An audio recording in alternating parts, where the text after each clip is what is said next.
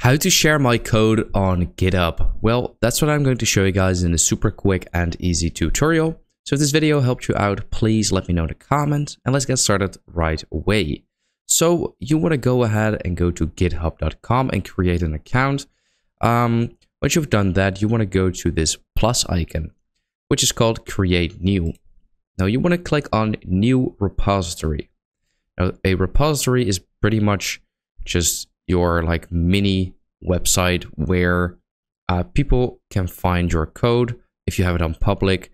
So you want to give this pretty much a name um, of your project, pretty much. So I'll just go ahead and call this test for YouTube, and it says uh, it gives you a little bit a little check if it's all right your name, and then here you can add a description. So I'll just do something like this is a test, but obviously you need need to add a description of uh, you know, what your project is about.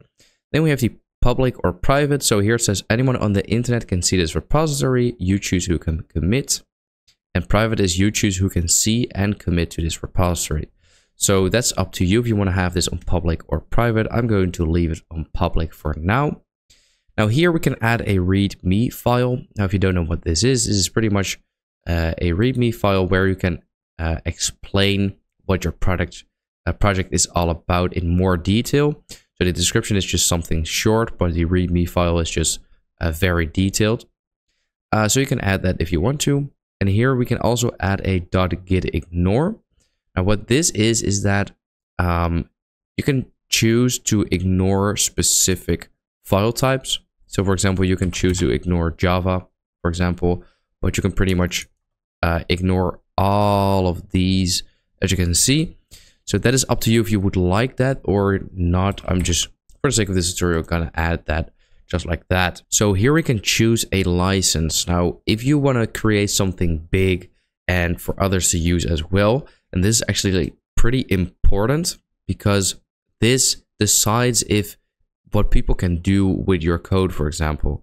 So it says a license tells you tells others what they can can and can do with your code. So here you can learn more about licensing um, and what they are all about.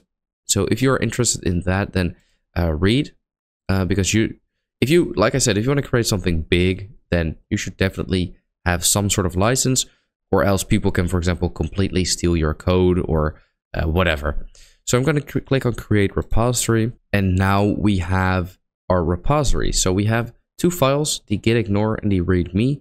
So if you click on there, um, you can see how it looks like. And then for the readme as well. So here on the right, we can actually edit this file. So we can uh, add more to the readme file, for example. Now, if you want to upload your code, what you can do is here click on add file. You can create a new file to, for example, start your code, but you can also upload a file of your code. So if you click on there, this will open up and you have to choose your code file. So you can, this will, you know, what you've downloaded on your PC. Then uh, here you have to simply commit the changes and then this will be added over here. Now, if you decide to start your code inside of GitHub, you can also click on create a new file, um, give it a name, and then start it right over here, right? So that is pretty much it. That's how to share my code on GitHub.